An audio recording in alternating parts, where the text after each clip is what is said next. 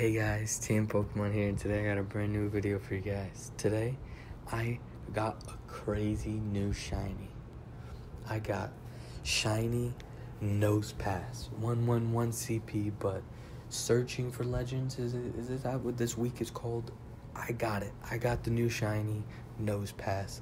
I couldn't believe it. It was in the wild. I just tapped on the Nosepass and boom, it was yellow. I was ecstatic. I was so happy. That is a big W. Shiny Nosepass. And yes, again, very happy. I'm going to be evolving this in the Probopass at some point, And I'm also going to be powering it up probably. But yeah, big W. I, I honestly haven't been doing raids for it, but yeah, I'm at 113 shinies now, including that Nosepass. And yeah, I've just been getting decently lucky. You know, Nosepass is a big shiny. But yeah, I've been, you know, grinding out the shinies this year. I'm at 111 now with that one.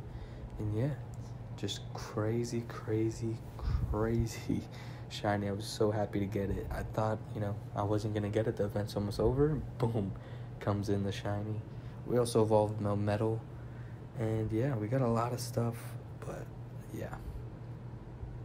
I just wanted to show you guys that new shiny. Honestly, it is insane.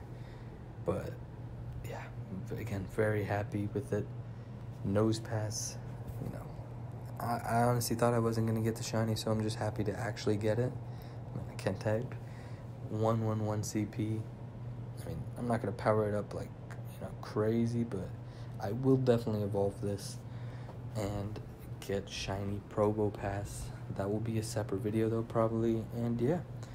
Um, yeah, that's really it. You know, it's been a pretty crazy month, you know, so far with the new uh, Searching for Legends event, and I cannot wait. And let's check this Nosepass. No, it's not shiny, but I just cannot wait for you know, just everything. The charge up event should be pretty cool, and yeah.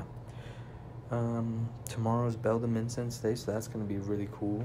But otherwise, thank you guys for checking out this video. I will see you guys in the next one. Peace.